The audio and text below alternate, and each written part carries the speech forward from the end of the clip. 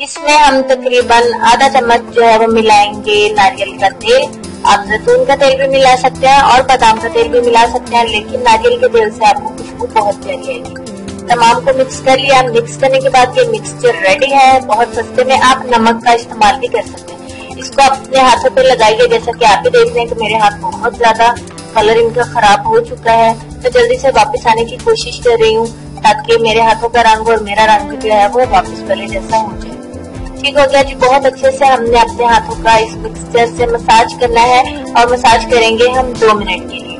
हल्के हाथों के साथ दो मिनट में मसाज कर लेती हूँ और इसके साथ ही आप यही अभी मैं मसाज कर रही हूँ, कुछ सेकंड्स रहते हैं। तो आप देख रहे हैं कि हाथ अभी से मेरे कितने क्लियर होना शुरू हो गए हैं, पहले के निस्बत ये फाइनली आप देखिए, आपको रिज़ल्ट पहले भी नज़र आ रहा था, आप लेकिन इसके बाद हमारा एक स्टेप बाकी है। ये ठीक हो गया, यहाँ तक अब हम इसको कर लेंगे वॉश वॉश करने के बाद आप हाथ देख लें मेरे कितने साफ़ हो गया, लेकिन अब मेरे पास है एग वाइट यानी कि अंडे की सफ़ेद इसे हैंड वॉश कर लेने के फ़ौरन बाद आपने अपने हाथों पे कुछ इस तरह से अप्लाई करना है। ब्रश की मदद से ना करें, क्योंकि हमने इसको फेंकना नहीं है, इसी तरह से अपने हाथों पे अप्लाई करना है।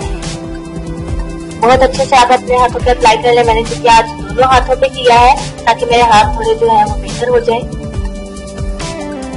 तो ये देखिए, मैंने अप्लाई कर लिया, इसको ड्राई होने के लिए छोड़ देते ड्राई हो चुका है, मेरे हैंड जो है वो एकदम से टाइट हो चुके हैं मुझे बहुत प्यारा सा मुझे रिलैक्स सा फील कर रही हूँ, मुझे अच्छा लग रहा है।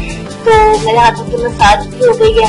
तो अब उसके बाद मैंने हैंड वॉश कर लिया आप अगर चाहें तो वापस जाके वीडियो का मतलब स्टार्ट में मेरे हाथों का रंग भी देख सकते हैं। इसको आप तकरीबन यूँ कीजिए कि हफ़्ते में आप चाहें तो चार बार भी दोहरा सकते हैं। कोई भी कोई भी साइड इफ़ेक्ट इसका नहीं है।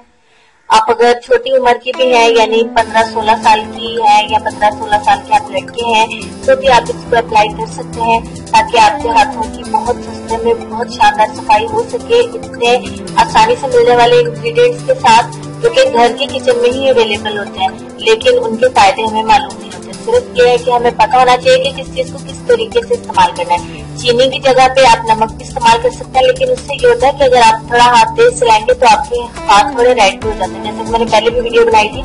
है तो आपको ऑयल का भी बता अगर आप नारियल का इस्तेमाल नहीं करें तो उसके अलावा आप कौन कौन सा ऑयल इस्तेमाल कर सकते हैं। अब चलते हैं आपके आज के।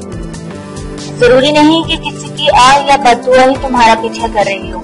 बाजोकात, किसी का जब्त और बेपना सबर के तुम्हारी खुशियों की राह में भारी रुकावट बन जाता है।